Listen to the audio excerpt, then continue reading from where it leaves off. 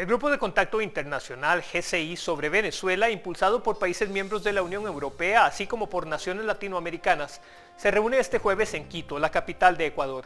La reunión es la segunda realizada en Sudamérica, pues sus representantes se vieron el pasado 7 de febrero en Montevideo y ahí fijaron un plazo para la realización de elecciones presidenciales en Venezuela un periodo al que le quedan unos 40 días.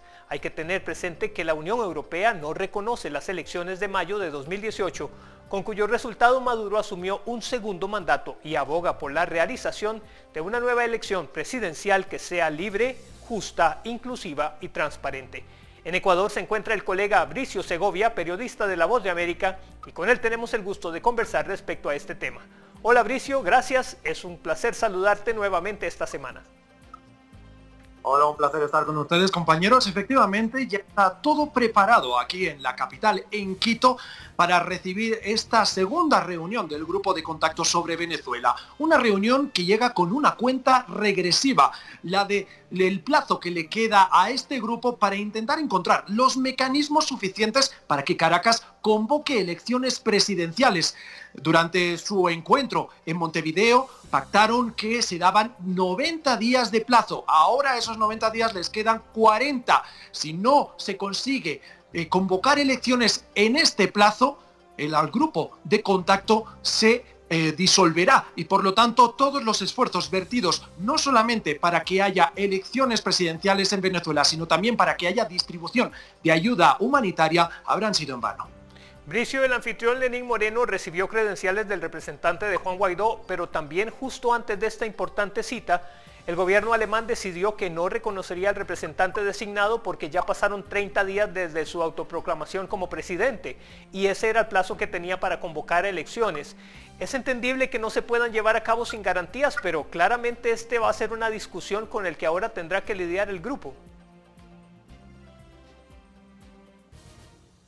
Efectivamente, no escuché el final de esa pregunta por problemas técnicos, pero aquí estarán los representantes de los países que mencionabas, de Alemania, también estarán aquí presentes los representantes de Ecuador como país anfitrión y las cosas no están fáciles dadas el contexto. ¿Por qué? Bien, pues que para empezar, el país anfitrión, como bien avanzabas, reconocía al embajador de Juan Guaidó aquí en Quito a menos de dos días de que se dé esta reunión del grupo de contacto. También recientemente Ecuador se retiraba de la UNASUR. Por lo tanto, mensajes que se mandan al presidente eh, en disputa de Venezuela en estos momentos, a Nicolás Maduro. Es importante también recordar que en este grupo de contacto, a diferencia del grupo que actúa en paralelo, el grupo de Lima, no tiene representantes de Venezuela, ni del ni del gobierno de Nicolás Maduro, ni del gobierno interino de Juan Guaidó.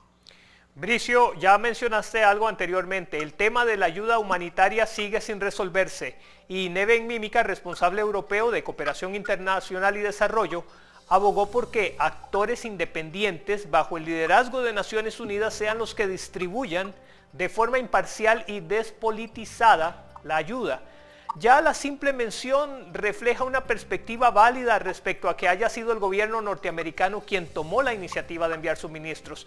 Me refiero a que podría no contar con el apoyo de todos los miembros del grupo.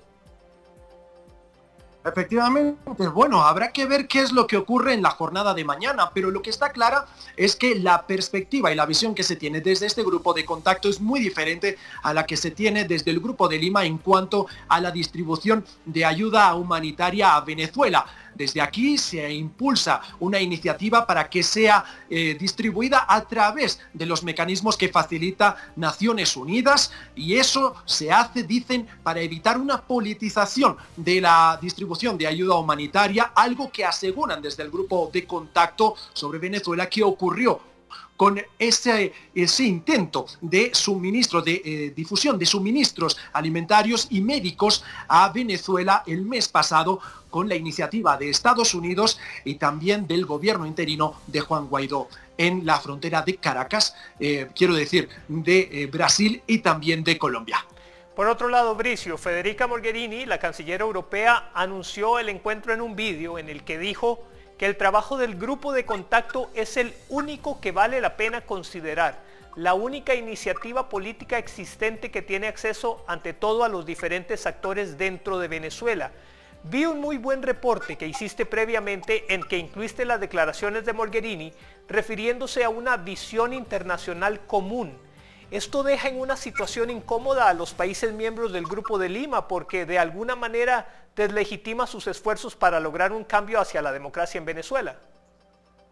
Efectivamente, y no solo eso, sino que incluso podríamos decir que el hecho de que haya dos grupos actuando en paralelo sobre los mecanismos que se deberían llevar a cabo en Venezuela para alcanzar unas elecciones presidenciales podrían ser incluso contraproducentes. ¿Por qué? Porque los objetivos son diferentes. Mientras que en el grupo de Lima se aboga por la salida inmediata de Nicolás Maduro del poder, desde el grupo de contacto que se reunirá mañana aquí en Quito, se aboga por mantener la soberanía de eh, los gobiernos elegidos, tanto el que se encuentra en disputa en estos momentos, el de Nicolás Maduro, como también por el interino de Juan Guaidó, y atribuyen todo tipo de decisión para la convocatoria de elecciones presidenciales a el mismo pueblo venezolano porque lo consideran una cuestión venezolana. Bricio, gracias por tu reporte y por tu apoyo con esta intervención desde Ecuador. Hasta la próxima. Un saludo, compañeros.